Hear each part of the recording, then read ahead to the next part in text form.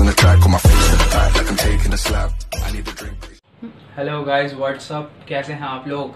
मेरा नाम है ध्रुव कुमार विगोर और आप देख रहे हो कुमार टेक्नोलॉजी।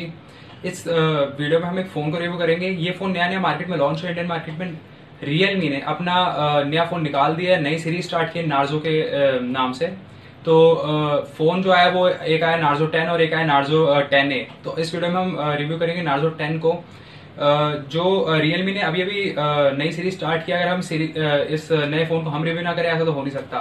तो आज हम आपको इस फ़ोन के बारे में पूरी कंप्लीट बताने वाले हैं कि ये फ़ोन आपको किस चीज़ के लिए लेना चाहिए, किस चीज़ क्या क्या चीज़ें इसमें अच्छी हैं क्या क्या चीज़ें इसमें ख़राब हैं क्यों आपको ये लेना चाहिए, क्यों नहीं लेना चाहिए सारी बातें आपको इस वीडियो में पता चलेगी।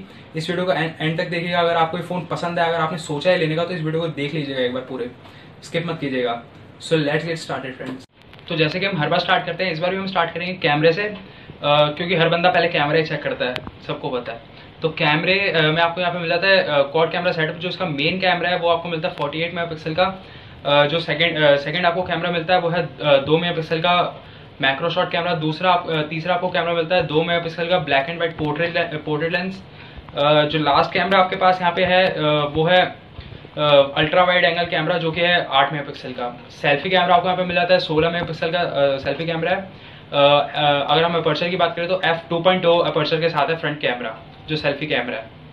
यहाँ पे बात करेंगे बैटरी के बारे में। बैटरी यहाँ पे आपको मिलती है पाँच हज़ार एम की fifty nine day stand by के साथ। और जो यहाँ पे हमें मिल जाती है टाइप सी की चार्जिंग यूएसबी के साथ। अगर हम यहाँ पे बात करें कि यहाँ पे और क्या ऑप्शन है बैटरी के रिलेटेड तो यहाँ पे आपको मिलती है स्क्रीन बैटरी ऑप्टिमाइजेशन की रिवर्स चार्जिंग आपको यहाँ पे मिल जाती है। अगर हम यहाँ पे देखें अठारह वोल्ट का वो चार्जर मिल जाता है, जो कि बैटरी इसकी बैटरी काफ़ी अच्छी है। अगर हम यहाँ पे बात करें इसके प्रोसेसर के बारे में तो प्रोसेस आपको ज़रूर ये बात पता होगी। इसमें यूज़ है मीडिया का Helio G eighty octa core processor जो कि इस फ़ोन में पहली बार आया है। जो कि सही में बहुत अच्छी बात है। इस बार रियलमी ने प्रोसेसर पर बहुत ज़्यादा काम करा है। प्रोसेसर की बात अगर हम बात करें स्टोरेज की तो आप आपको स्टोरेज अच्छी मिल जाती है। आपको आपको चार G B RAM one twenty eight G की फ़ोन स्टोरेज मिल जाती है। स्टोरेज के मामले में ये चीज़ अच्छी है। रैम आपको यहाँ पे मिलती है L P D four X की जो कि सही अच्छी है। अगर हम यहाँ पे स्क्रीन की बात करें तो स्क्रीन आपको मिल जाती है सिक्स पॉइंट फाइव की एच प्लस डिस्प्ले मिल जाती है। जो फिंगरप्रिंट सेंसर है वो डिस्प्ले पे नहीं मिलता रेयर साइड पे मिलता है आपको बैक साइड पे। जो अगर हम स्क्रीन रेशो की बात करें स्क्रीन बॉडी रेशो की तो वो मिलती है 89.8 रेशो है। जो गोरिल्ला ग्लास आपको मिल जाता है गोरिल्ला ग्लास थ्री की प्रोटेक्शन आपको मिलती है।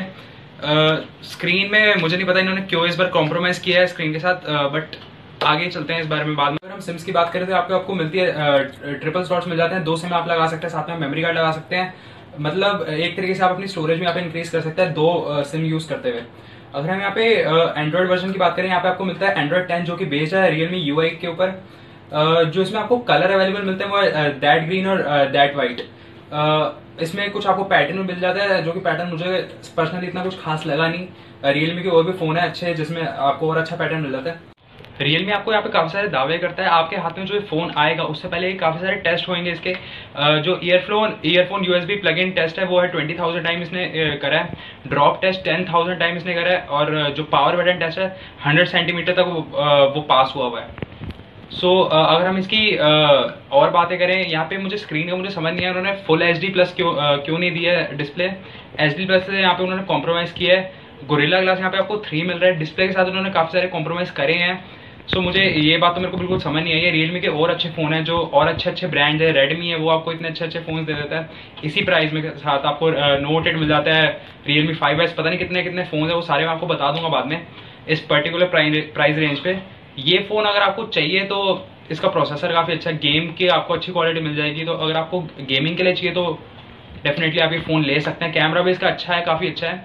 कैमरे के साथ भी आप जा सकते हैं। अगर मैं इसकी प्राइस की बात बताऊँ तो जो इंडियन मार्केट में इसका प्राइस है वो है eleven thousand triple nine so यार, इस रेंज में ये फ़ोन ठीक है अच्छा है बट मुझे डिस्प्ले इसका ऐसा खास लगा नहीं और अगर हम इसकी प्रोटेक्शन की बात करें गोरिल्ला ग्लास फाइव एटलीस्ट इसमें होना चाहिए था।